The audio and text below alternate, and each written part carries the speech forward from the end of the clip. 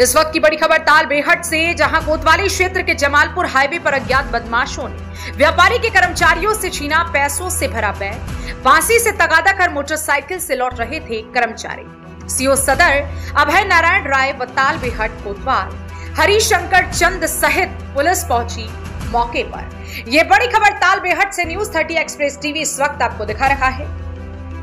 जहाँ ताल बेहट कोतवाली क्षेत्र के जमालपुर हाईवे पर अज्ञात बदमाशों ने व्यापारी के कर्मचारियों से पैसों से भरा बैग छीन लिया।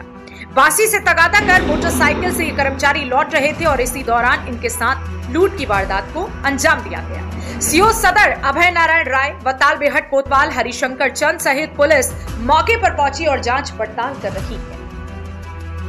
ये आज जो है तालपेट के रहने वाले हैं और ये हरसपुर एक हमारे यहाँ का गाँव क्षेत्र है।